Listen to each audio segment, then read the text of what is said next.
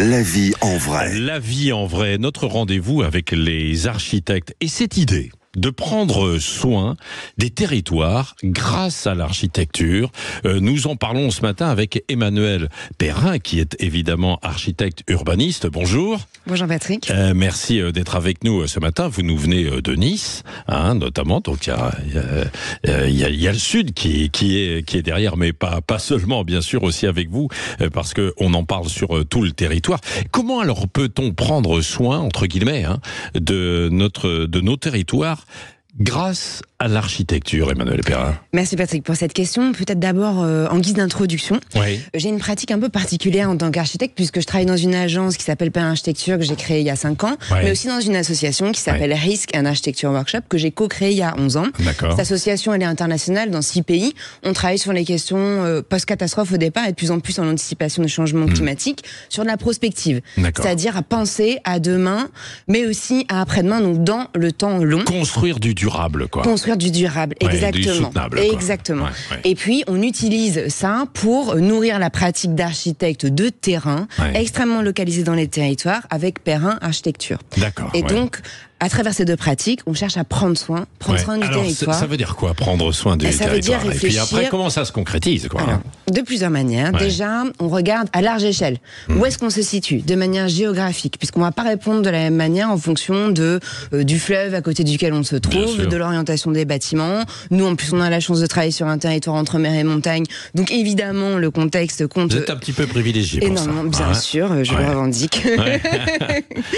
Euh, et puis après, ce qui m'intéresse beaucoup, puisque nous on travaille principalement la rénovation du patrimoine et du bâti ancien, c'est de regarder les matériaux. Ouais. Donc d'où ça vient le plus local possible. Et puis c'est vrai que dans le patrimoine, on travaille avec des matériaux nobles, plutôt la pierre, plutôt le bois, des matériaux qui sont plutôt massifs, qui sont aussi retransformables facilement, ce qui est moins le cas des matériaux composites comme le béton, comme le plastique. Et puis la troisième ressource avec laquelle on travaille quand on fait du bâti ancien, c'est le savoir-faire de nos artisans partenaires. Et ça, c'est extraordinaire en tant qu'architecte parce qu'ils nous apprennent autant que nous, euh, on leur apprend en fait. Ouais, ouais, Donc je ça. dirais que c'est tout ça, prendre soin de notre territoire, c'est aussi de l'économie territoriale locale en faisant travailler les entreprises qu'on connaît, qu'on des savoir-faire qui sont euh, en fait non délocalisables, si je peux dire. Oui, oui, non, mais c'est vrai. Donc, il y a avec euh, le travail avec les matériaux, comme vous le dites, et puis il y a aussi l'insertion de de ce que l'on va alors rénover quand il s'agit de rénovation, mais ou si c'est de la construction euh, neuve, bien sûr, euh, de l'insertion aussi dans le paysage, quoi. Bien sûr, il y a un rapport au grand paysage euh, et aussi euh, à Ce qu'on n'a l'îlot. pas fait pendant des années, hein, quand bien même. sûr, hein. bien Ouais. sûr, on a la chance, je pense, notre génération de vivre aussi ce tournant, Ouais. où en fait les espaces extérieurs, euh, les persiennes, Mmh. les pergolas, mais aussi les espaces non bâtis, paysagers, sont tout aussi importants. Ouais, Surtout qu'on travaille de plus en plus sur le chaud, et donc euh, le paysage, il a toute sa place par rapport à ça. Est-ce que l'on doit et, et com- comment faites-vous? Est-ce que vous priorisez entre guillemets euh, de reconstruire de, de zéro euh, ou de donc de, bah de, de, de de construire un nouvel édifice ou alors de, de rénover Elle est un peu provocante votre question. Non, non, mais c'est ça concerne en fait tout le monde. À chaque fois, on se pose la question. Et pe- pendant des années, on a dit on rase et puis euh, on Bien construit. Aujourd'hui, ça change, quoi. Bien heureusement. sûr, on vient un changement de paradigme et en plus nous, dans l'agence, on met un point d'honneur évidemment à rénover et à réparer. Donc aller loin dans les diagnostics, hein, comme un médecin, quand on a un bâtiment en face de nous, on va aller chercher quelle est la pathologie, est-ce qu'il y a des problèmes d'humidité, est-ce qu'il y a des problèmes de structure, et puis euh, mener une enquête pour comprendre Ouais. l'histoire de ce bâtiment, et puis regarder le couple, Ouais. le couple bâtiment usagé, qui vit à l'intérieur, etc.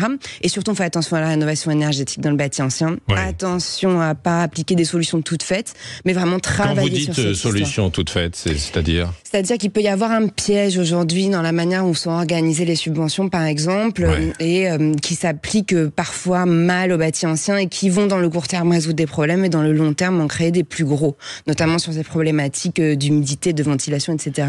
Donc nous, architectes, on s'intéresse vraiment sur l'isolation, par exemple, quoi. Exactement. parlez. Ouais. Et en plus, dans le sud de la France, c'est souvent pas toujours adapté, donc Ah bien faire attention à regarder de manière globale. Voilà. ouais. Et puis un bâtiment ancien, faut qu'il respire. Ouais. Donc euh, c'est pas tout Non, à fait la même chose. c'est- un, vrai défi, hein, justement, parce qu'on dit, euh, euh, et on encourage beaucoup, et on le comprend évidemment, à isoler en fait ces, ces, ces, bâtiments, mais on se retrouve à un point où on isole tellement que, que ça ne circule plus, ce n'est plus ventilé en fait un, un, bâtiment. Or, ça doit vivre quoi. Hein. Exactement, la rénovation thermique, ce n'est pas que l'isolation. Il faut absolument que ce soit global et puis qu'on s'attache au confort été mais ouais. aussi, euh, enfin, hiver et aussi été. Ouais. Donc euh, ça, ça compte énormément. Il faut le prendre en compte de manière globale. Alors il y a des, pour ça, il y a des nouveaux matériaux également. Il y a des nouveaux matériaux et puis des, euh, aussi des anciens qu'on revisite, hein, ouais. qu'on adapte à, à la, la, puissance de notre chaîne industrielle quand même, mais des matériaux naturels. Et ça, c'est la chance. Comme quels matériaux Comme la terre crue. Ça, c'est des choses qu'on est en train de revoir aujourd'hui, qui refait surface de manière, voilà, diversifiée, avec des briques de terre compactées, des enduits mmh. qu'on revoit beaucoup dans le patrimoine on a la chance d'avoir de plus en plus d'enduits naturels disponibles qui apportent du confort thermique. Vous ouais. en parliez sur l'isolation. Ouais, ouais, et sûr. on a des enduits qui, qui répondent très bien à ces enjeux-là. Et, et, alors, bah, dernière question autour de ça, justement, pour prendre soin de notre territoire. Comment ça se passe, la cohabitation entre vous, architectes, et souvent euh, l'administration, les collectivités territori territoriales, les municipalités, où on sait que Parfois, ça peut être décourageant pour euh, pouvoir mener des projets. Alors, euh, le métier d'architecte. Il faut dire les choses. Hein, c'est euh, le slogan de Sud Radio, c'est parlons. euh, pour moi, c'est un métier partenarial, ouais. le métier d'architecte. Et en plus de ce que je vous, de ce dont je vous parle sur la rénovation du patrimoine, nous on fait des, des plans guides, donc on accompagne les petites et les moyennes communes mmh. à définir leur projet de territoire, à le spatialiser, ouais. à le financer et à le réaliser. Donc on a l'habitude de travailler avec les services de l'État et les collectivités et surtout les architectes du patrimoine, enfin, du, des bâtiments de France, France. pardon. Euh, et donc, on. Ça, c'est pas toujours facile. Hein. Mais on amorce ces discussions en avant. Voilà, c'est ça. Amont, il faut travailler, fait. Il faut en discuter. fait. Ouais. Il faut discuter. Ouais, il faut discuter et puis euh, aborder les choses et, et pas être de manière frontale. Quoi. Exactement. Ouais, ouais.